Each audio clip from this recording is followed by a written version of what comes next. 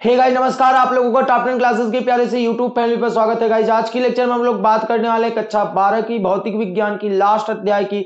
और आज के अध्याय का नाम जो है, वो है वैद्युत चुंबकीय तरंग। अर्थात हम लोग वैद्युत चुंबकीय तरंग का जो फ़र्स्ट लेक्चर है, वो हम लोग आप लोगों ने देख लिया होगा। यदि नहीं देखा है तो उस वीडियो को जाके आप तुरंत देखिए प्यारे बच्चों, क्योंकि वहाँ पर एक मोस्ट इंपॉर्टेंट क्वेश्चन की चर्चा की गई है। अर्थात विस्थापन धारा के बारे में वहाँ बताया गया है। तो आज हम चर्चा करेंगे, आप देख ही लिए होंगे कि आज हम किस टॉपिक पे चर्चा करने वाले हैं। मैक्सवेल के समीकरणों की चर्चा करेंगे, प्यारे बच्चों। और एग्ज़ाम में कई बार क्वेश्चन पूछा गया है कि मैक्सवेल के समीकरण की व्याख्या कीजिए। और जब भी एग्ज़ाम में पूछता है, प्यारे बच्चों तो काफ़ी हाईएस्ट नंबर आपको देके जाता है। तो आज हम मैक्सवेल के समीकरण की चर्चा करने वाले एकदम सरल और आसान भाषा में लेक्चर को स्टार्ट करने से पहले यदि आप चैनल पर नए आए होंगे तो चैनल को सब्सक्राइब करके दोस्तों के साथ वीडियो को ज़रूर शेयर कीजिएगा। प्यारे बच्चों, वीडियो पसंद आता तो वीडियो को लाइक करके दोस्तों के साथ शेयर ज़रूर कीजिएगा। चलिए लेक्चर को स्टार्ट कर लेते हैं। सबसे पहली बात हम आपको बता देना चाहते हैं कि जो मैक्सवेल भाई साहब थे ना, वो एक्चुअल में अपना समीकरण दिए ही नहीं थे। जितना आपने पहले अध्याय से लेकर आज सतवें अध्याय तक जिन वैज्ञानिकों का नाम पढ़ा, जैसे पहले में गौस को पढ़े, पहले में गौस को पढ़ लिए, दूसरे में किसको पढ़ लिए? भैया, फैराडे मिल गए होंगे। फिर उसके बाद आपको कौन मिला? फैराडे से विद्युत वाहक बल प्राप्त किए थे ना? फिर तीसरे में उसके बाद आपको एम्पियर मिल गए। तो इन तमाम लोगों का मिला के ये अपना समीकरण दिए थे। तो उन, उन्हीं के समीकरणों को लेकर ये अपना नाम दे दिए कि भाई हम आपसे इजाज़त लेके हम आपके समीकरण को संशोधित करके हम आपको दे रहे हैं। अब जो मैक्सवेल के समीकरण होता है बच्चों का प्रश्न होता है सर मैक्सवेल के समीकरण किसे कहते हैं? क्वेश्चन ये उठता है मैक्सवेल का समीकरण किसे कहते हैं? तो भैया वे समीकरण या ऐसे समीकरण जो विद्युत तथा चुंबकत्व किसी भी पदार्थ के विद्युत तथा चुंबकत्व के गुणों का, के प्रभाव का व्याख्या कर सके, वो क्या कहलाते हैं प्यारे बच्चों? वो क्या कहलाते हैं? मैक्सवेल के समीकरण कहलाते हैं, जो निम्नलिखित रूप से है मतलब हम कह सकते हैं जो कि चार प्रकार के होते हैं। आज हम उन चारों समीकरण की व्याख्या करेंगे और चारों समीकरण को समझेंगे, ठीक? मैक्सवेल का प्रथम समीकरण। मैक्सवेल का प्यारे बच्चों, जो प्रथम समीकरण है, वो गौस के नियम पे आधारित है। पहला इनका समीकरण गौस के नियम पे आधारित है। अब गौस का नियम आपने अध्याय नंबर दो में पढ़ा है कि किसी भी बंद पृष्ठ से होकर गुजरने वाली जो वैद्युत फ्लक्स होता है, किसी भी बंद पृष्ठ से, जैसे आपने ये क्या ले लिया? कि ये कोई बंद पृष्ठ ले लिए, ठीक? अब इस पृष्ठ के अंदर कोई आवेश रख दिए। अब इस आवेश से भैया विद्युत बल रेखाएँ निकलेंगी बाहर की तरफ़। विद्युत बल रेखाएँ निकलेंगी। तो विद्युत बल रेखाओं की संख्या ही, ये मान लेते हैं, ये कोई एकांक पृष्ठ है, ठीक? ये कोई एकांक पृष्ठ है।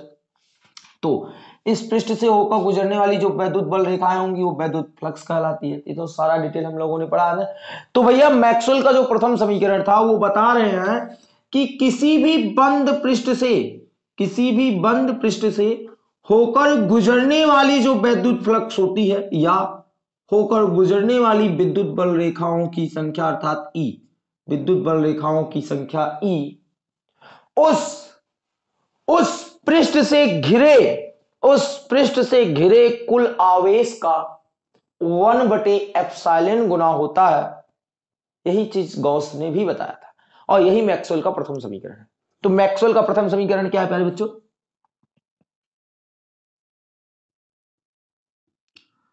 किसी बंद पृष्ठ से होकर गुजरने वाला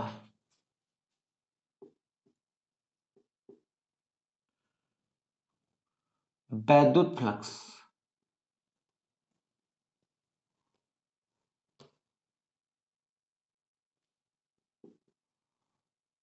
वैद्युत फ्लक्स उस पृष्ठ से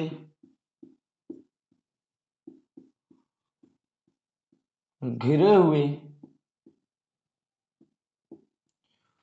कुल आवेश कुल आवेश क्यू का वन बटे एप्साइलन गुना होता है। वन बटे एप्साइलन गुना होता है। वन बटे एप्साइलन गुना होता है। क्या इतनी बातें आपको समझ में आ रही प्यारे बच्चों? क्या इतनी बातें आपने पहले क्लास में पढ़ भी लिया है? क्यू का वन बटे एप्साइलन गुना होता है। अर्थात अगर इसको हम गणितीय रूप में लिखना चाहे तो प्यारे बच्चों, वैद्युत फ्लक्स को हम फाई ई से व्यक्त करते हैं। किससे व्यक्त करते हैं? फाई ई से व्यक्त करते हैं। इक्वल टू होगा कुल आवेश कितना है? क्यू का एप्साइलन गुना होता है। इसको हम दूसरे शब्दों में भी लिख सकते हैं। फाई ई को हम लिखते हैं E into D E into D और ये बंद पृष्ठ का समाकलन। ये बंद पृष्ठ का समाकलन मतलब किसी भी बंद पृष्ठ से होकर गुजरने वाली वैद्युत बल रेखाओं की कुल संख्या। इक्वल टू इक्वल टू क्या हो जाएगा? क्यू बटे क्या हो जाएगा प्यारे बच्चों? एप्साइलन नॉट हो जाएगा। ये है मैक्सवेल का प्यारे बच्चों, प्रथम समीकरण। ये है मैक्सवेल का प्रथम समीकरण, जो कि आपके क्या कह लिया जाए? जो कि आपके गौस के नियम से पूर्ण रूप से रिलेटेड है। गौस के नियम से पूर्ण रूप से मिल रहा है। तो ये रहा प्यार बच्चों मैक्सवेल का प्रथम समीकरण। अब इसकी खास बात क्या होता है कि जो यह समीकरण होता है, यह स्थिर आवेश के लिए भी होता है और गतिमान आवेश के लिए भी होता है। तो ये पॉइंट आप नोट कर लीजिएगा। क्या? कि यह समीकरण स्थिर आवेश के लिए भी लागू होता है और गतिमान। तो स्थिर व गतिमान आवेश के लिए होता है। दोनों आवेश के लिए होता है।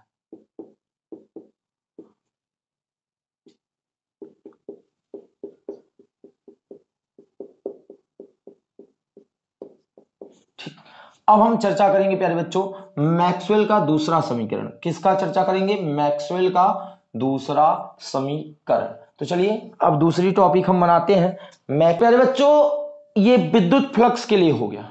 ये किसके लिए हो गया? विद्युत फ्लक्स, अर्थात विद्युत बल रेखाओं के लिए गौस का प्रमेय हो गया।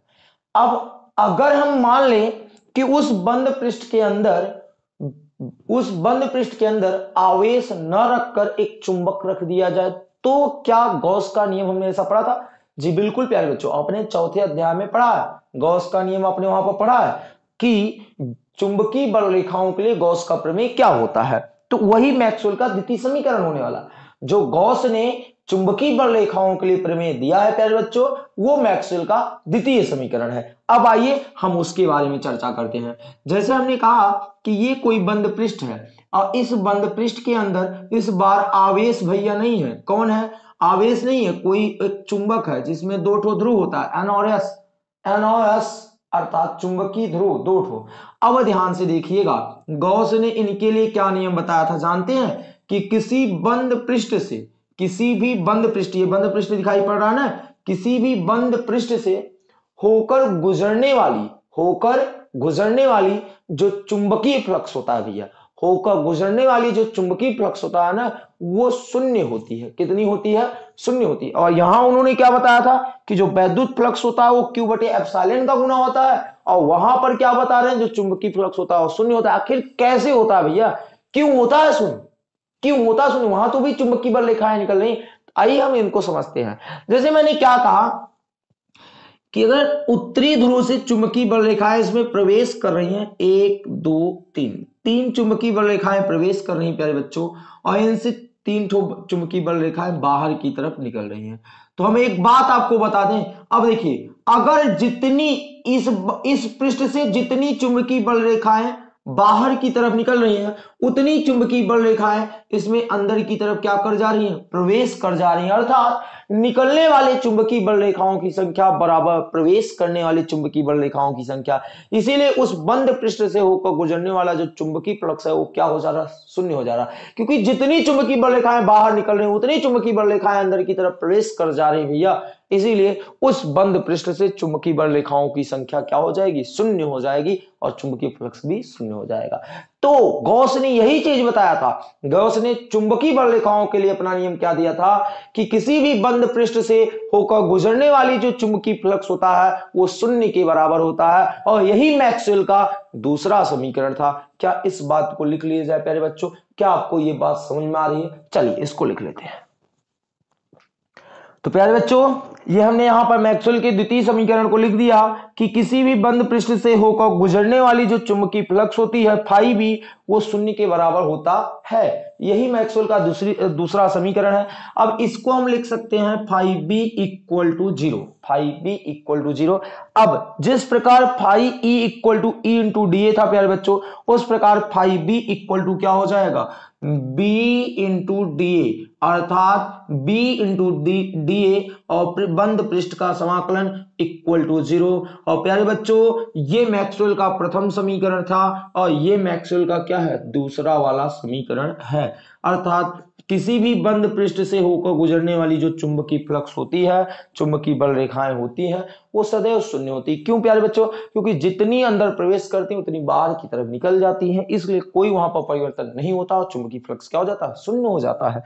तो ये हो गया, यह मैक्सवेल का क्या है प्यारे बच्चों? ये मैक्सवेल का दूसरा वाला समीकरण है। अब हम चर्चा करेंगे तीसरे समीकरण का। अभी तक तो कोई दिक्कत नहीं होने वाली ना। अब हम आगे चर्चा कर रहे हैं मैक्सवेल के तीसरे वाले समीकरण को।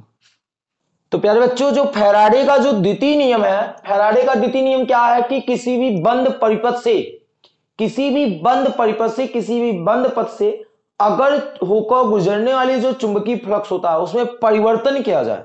उसमें अगर परिवर्तन किया जाए तो परिपथ में एक विद्युत वाहक बल उत्पन्न हो जाता है। तो वहीं से हम शुरुआत कर रहे हैं मैक्सवेल के तृतीय समीकरण को। तो फेराडे के द्वितीय नियम से जो प्रेरित विद्युत वाहक बल उत्पन्न होता है E इक्वल टू वो किसके बराबर होता है पहले बच्चे जानते हैं? Minus D D T five B क्या होता है? फाइव बी अब हम जानते हैं फाइव बी वहाँ क्या है? फाइव बी वहाँ चुंबकीय फ्लक्स है। डी डी टी और फाइव बी तो क्या है वहाँ फाइव बी क्या है पहले बच्चों? चुंबकीय फ्लक्स। तो अगर हम चुंबकीय फ्लक्स की बात करें तो किसी पृष्ठ से, किसी पृष्ठ से निर्गत कुल वैद्युत फ्लक्स क्या हो जाएगा? निर्गत विद्युत फ्लक्स। तो अगर हम निर्गत विद्युत फ्लक्स की बात करें तो उसका व्यंजक क्या होगा? तो उसका फाइव बी क्या हो जाएगा? फाइव बी इक्वल टू क्या हो जाएगा? b into D A. क्या हो जाएगा प्यारे बच्चों? b इंटू डी ए और इंटीग्रेशन ऑफ़ बंद पृष्ठ।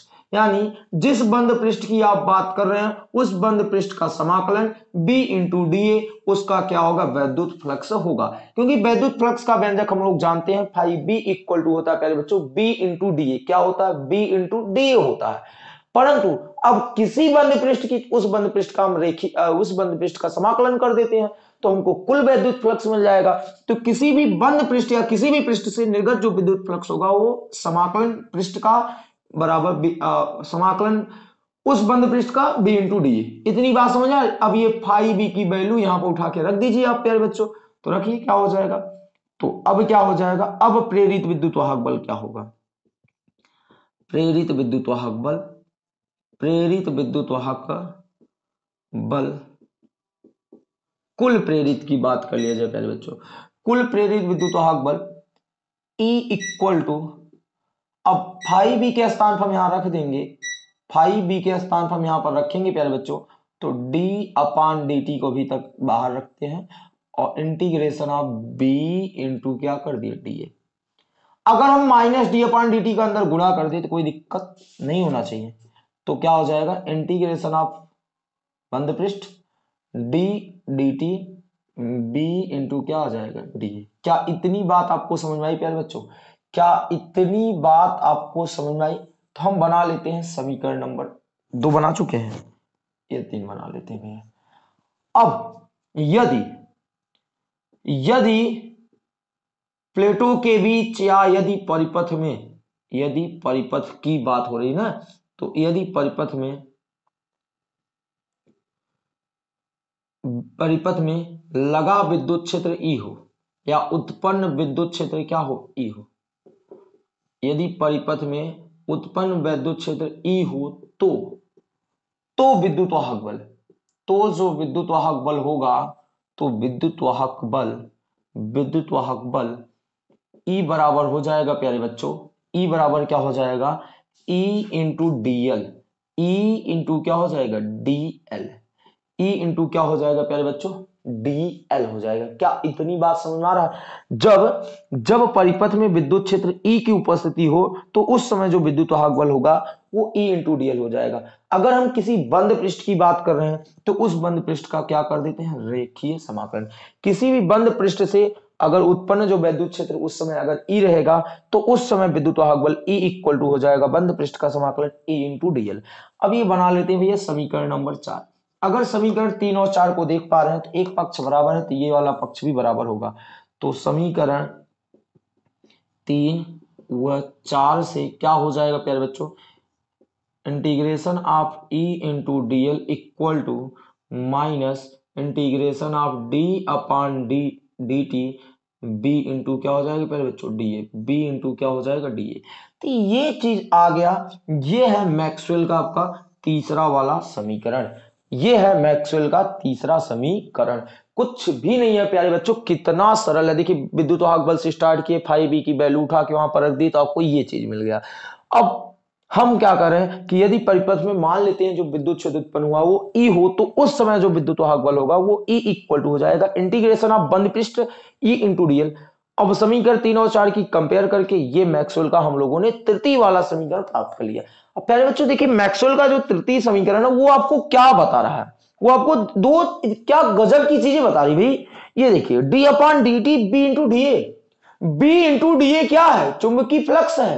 यानी चुंबकीय क्षेत्र मान ले रहे हैं। तो चुंबकीय क्षेत्र में परिवर्तन के कारण अगर चुंबकीय क्षेत्र में परिवर्तन किया जाता है तो विद्युत क्षेत्र की उत्पत्ति हो जाती है, प्यारे बच्चों। तो मैक्सवेल का तीसरा समीकरण क्या बताता है कि यदि चुंबकीय क्षेत्र में परिवर्तन किया जाए तो वहाँ विद्युत क्षेत्र उत्पन्न हो जाएगा। तो मैक्सवेल का तीसरा समीकरण यह बताता है। तो ये चीज़ यहाँ पर लिख लीजिएगा, प्यारे बच्चों। ये हम यहाँ लिख दे रहे हैं, वो जो पॉइंट है। यह मैक्सवेल का तीसरा जो समीकरण है, यह समीकरण यह बताता है, यह समीकरण यह बताता है,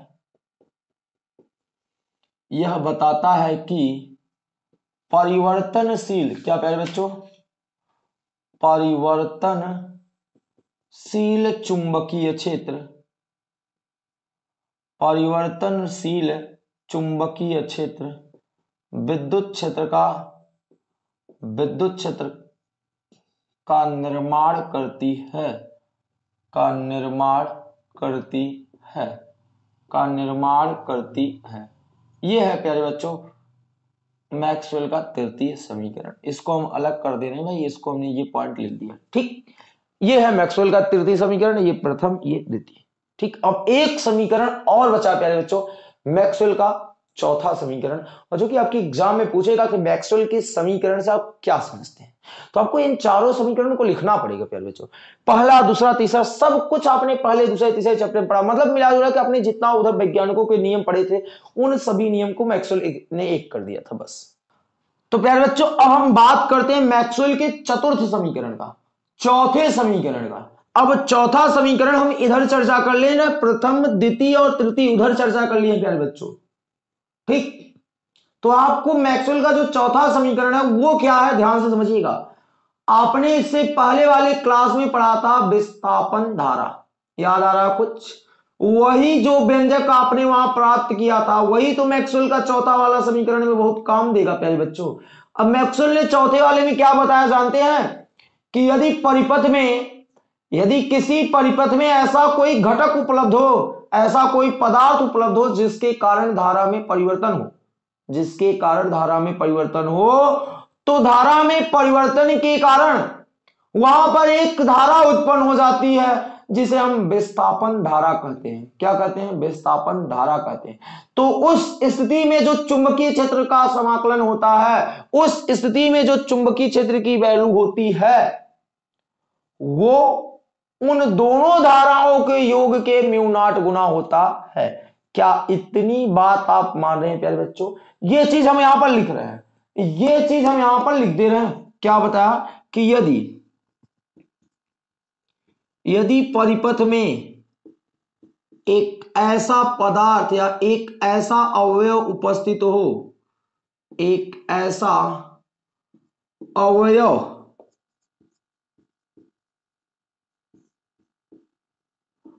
उपस्थित हो जिसके कारण जिसके कारण धारा में क्या हो प्यार बच्चों? परिवर्तन हो।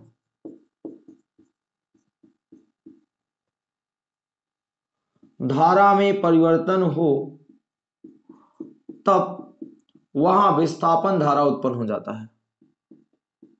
वहाँ विस्थापन धारा उत्पन्न हो जाता है। उत्पन्न होता है। तब जो चुंबकीय क्षेत्र होगा, B इंटू डीएल तब जो प्यारे बच्चों, B इंटू डीएल होगा, वो किसके बराबर होगा? म्यू नाट म्यू नाट और आईसी मतलब प्यारे बच्चों जो धारा बहती है वो जो इलेक्ट्रॉनों के कारण उत्पन्न होती है वो और जो धारा परिवर्तन के कारण उत्पन्न होती है उन, उन दोनों के योग के म्यूनाट गुना होगा। तो प्यारे बच्चों ये हो गए म्यूनाट ये हो गई आईसी इनका गुणा यहाँ कर दें तो म्यूनाट आईडी हो जाएगा। हम आईडी की वैल्यू यहाँ जानते हैं प्यारे बच्चों हमने इससे पहले वाले लेक्चर में इसकी वैल्यू निकाला है। क्या आ जाएगा बताइए? म्यू नाट इसका हम लोगों ने पढ़ा epsilon naught integration of D five E upon D T यही तो हम लोगों ने पढ़ा प्यारे बच्चों। Integration B into D L B into क्या हो जाएगा? डी एल यानी मिला जुला के मैक्सवेल का चौथा समीकरण क्या बताता है? सोचिए जरा सा। मैक्सवेल का तृतीय समीकरण बताया कि चुंबकीय क्षेत्र में परिवर्तन के कारण विद्युत क्षेत्र उत्पन्न होता है। और यहाँ देखिए, यहाँ क्या बता रहा है? मैक्सवेल का जो चौथा वाला समीकरण है, वो बता रहा है कि विद्युत क्षेत्र में अगर आप परिवर्तन करोगे D five upon D T विद्युत क्षेत्र में परिवर्तन के कारण चुंबकीय क्षेत्र उत्पन्न हो जाएगा। देख रहे मैक्सवेल का चौथा समीकरण। तो मैक्सवेल का जो चौथा समीकरण है, वो क्या बताता है प्यारे बच्चों? हम यहाँ बोल दे रहे हैं, देखिए, जगह की कमी है, इसलिए नहीं लिख रहे हैं। मैक्सवेल का चौथा समीकरण क्या बताता है, जानते हैं आप? मैक्सवेल का चौथा वाला जो समीकरण है प्यारे बच्चों, वो ये बताता है कि परिवर्तनशील विद्युत क्षेत्र चुंबकीय क्षेत्र को उत्पन्न कर सकते हैं। इस प्रकार आपका जो मैक्सवेल का प्रथम, द्वितीय और तृतीय और चतुर्थ चारों जो समीकरण थे, वो आपके स्क्रीन पे फुल रूप से दिखाई पड़ रहे होंगे, प्यारे बच्चों। आई होप कि आपको आज की वीडियो ज़रूर पसंद आई होगी, प्यारे बच्चों। यदि कहीं कोई डाउट रह गया होगा तो कमेंट सेशन में प्यारा सा कमेंट ज़रूर छोड़िएगा कि सर, मुझे ये चीज़ नहीं क्लियर हुई होगी, प्यारे बच्चों। और उम्मीद है कि आपको कहीं भी किसी भी प्रकार का डाउट नहीं रह गया होगा।